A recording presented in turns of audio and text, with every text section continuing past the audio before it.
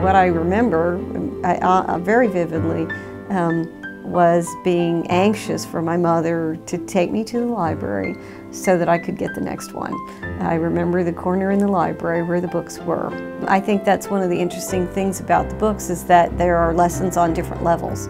The, I think the vocabulary is significant in the books and I think that that's also um, a positive thing about them because I don't think that, that while they are entertaining stories about, um, uh, again, uh, fantastic or magical characters, they're not dumbed down. I think that they really do um, stand the test of time. Really ad admiring Dr. Smith's scholarship with regard to the books because um, I, I, think it is wonderful that he is uh, preserving the um, books and then exploring uh, their applicability to the current times that we live in.